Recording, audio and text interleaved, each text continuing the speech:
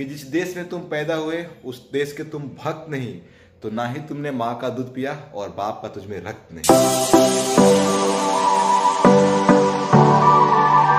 Hello friends कैसे हैं आप लोग? उम्मीद करता हूँ काफ़ी अच्छे होंगे और अपने अपने घरों मौज काट रहे होंगे। सो फ्रेंड्स मेरा नाम है राज दुबे और आप देख Raj Dubey blogs so friends basically मैं बिहार इंडिया से हूँ और अभी मैं दिल्ली में क्रिकेट खेल रहा हूँ। तो ये रहा मेरा इंट्रो और आज एक दिक्कत हो गई थी, बहुत बड़ी। क्या हुआ कि यार, मैंने रात में वीडियो को एक्सपोर्ट कर दिया था एडिटिंग करके। तो रात में वो एक्सपोर्ट हुआ ही नहीं यार, अपने आप पता नहीं कैसे कट गया आपको पीछे ब्लॉग में मैंने बता ही दिया था कि मेरा फ़ोन खराब हो चुका है और एडिटिंग के टाइम पता नहीं क्या क्या हो जाता है यार। और यार क्या हुआ कि जब अपलोडिंग पर लगाया मैं तो पता नहीं क्यों यार नेटवर्क ही अच्छा नहीं आ रहा था। स्पीड ही बहुत, इतनी गंदी आ रही थी स्पीड मत कहो यार। दो घंटे लगे दो जीबी का वीडियो अपलोड करने में यार, इतने टाइम तो और आज लगा था कि वीडियो टाइम पे जाएगा ही नहीं बट कोई ना वीडियो चल गया है। तो अगर आप नहीं देखे हैं जाकर देख लीजिए। मेरे हिसाब से तो काफ़ी अच्छा ब्लॉग है आपको देखना चाहिए और वहाँ पे आपको भी विज़िट करना चाहिए एक बार। कि हमें यार अपने देश को जानना चाहिए अपने देश को घूमना चाहिए। लोग बाहर जाते हैं विदेशों में जाते हैं। भी फॉरनर लोग हैं वो इंडिया का कल्चर अपना रहे हैं भाई। तो हमें अपने कल्चर को बचा कर रखना चाहिए, अपने कल्चर को अपनाना चाहिए, ज़्यादा विदेशी कल्चर नहीं जाना चाहिए अपने को। क्योंकि वो लोग अब हमारी कॉपी कर रहे हैं यार, हमारी संस्कृति ऑलवेज बेस्ट तो हमारी संस्कृति हमेशा अच्छी रही है और अच्छी रहनी चाहिए यार, और हमें ही बचा के रखना चाहिए अपनी संस्कृति को। सौर्या भारद्वाज सर का एक डायलॉग याद आ रहा है कि जिस देश में तुम पैदा हुए, उस देश के तुम भक्त नहीं तो ना ही तुमने माँ का दूध पिया और बाप का तुझमें रक्त नहीं। इंडिया इज़ ऑलवेज बेस्ट यार। भारत ऐसा है ही, यार। भारत के नक्शे को देख के, भारत के झंडे तिरंगे को देख के एक सुकून सा, आहा फील होता है, यार। लेकिन यार, भारत के ताज कहे जाने वाले कश्मीर को एक तरफ़, ई छोटका बबुआ, पाकिस्तान।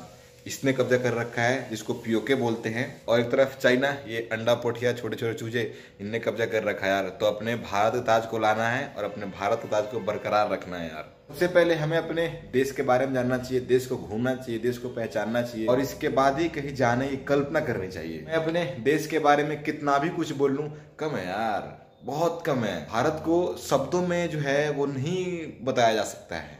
जब से आप घूमिएगा नहीं वहाँ कल्चर को देखिएगा नहीं। हिंदुस्तान को छोड़ के भारत को छोड़ के आप किसी भी देश का कल्पना ही नहीं कर सकते यार। तो अभी यहाँ पर अपना चल रहा है फ़ोन में वीडियो देख रहे हैं सारे लोग। अभी का सीन क्या है कि तीन चौवालीस हो रहे हैं और मैं दोपहर में सो गया था यार नींद आ गई थी। तो फ़िलहाल बहुत ज़ोर की भूख लगी है तो चलते हैं फ़िलहाल खाना लेते हैं। तो आज दोपहर में जो है दाल रोटी और कुदरू की भुजिया बनी हुई है तो फ़िलहाल इसको इंजॉय करते हैं। क्या कि खाना खा के बर्तन साफ़ करके रख दिया है तो अभी चलते हैं। अभी अपन मस्त बैटिंग करके आ गए हैं और इधर सब सामान रख दिया है सूखने के लिए, उधर भी है। पंखा मस्त चल रहा है। देखते हैं कि फ्रिज में पानी रखा हुआ है कि नहीं। प्यास लगे बहुत ज़ोर की। मग्गा तो है। मग्गा में पानी भी है। बढ़िया यार।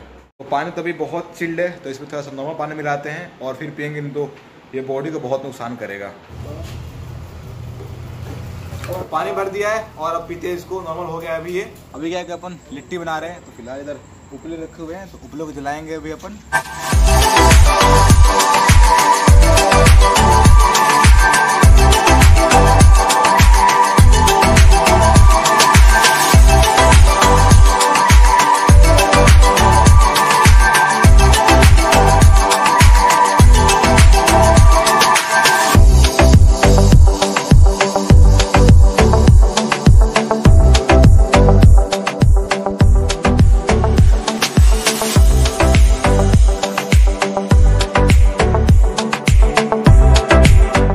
क्या कि मस्त अपन लेजर करके और आराम से रोड पे वॉकिंग कर रहे हैं। तो मैं मस्त बाहर से घूम के आ चुका हूँ और फ़िलहाल रेस्ट करते हैं। मुझे पता है कि ब्लॉग थोड़ा छोटा हो गया, लेकिन कोई नहीं, अगले ब्लॉग का वेट करो। काफ़ी अच्छा काफ़ी शानदार आने वाला है। तो फ़िलहाल इस ब्लॉग को एंड करते हैं। आई होप आपको अच्छा लगा होगा। अगर अच्छा लगा होगा तो वीडियो को लाइक कर दीजिएगा और आप चैनल पर नए हैं तो सब्सक्राइब कर दीजिएगा। और हाँ जो पार्ट आपको अच्छा लगा कमेंट बता दीजिएगा। तब तक के लिए बाय बाय मैं खा मैं खा चला।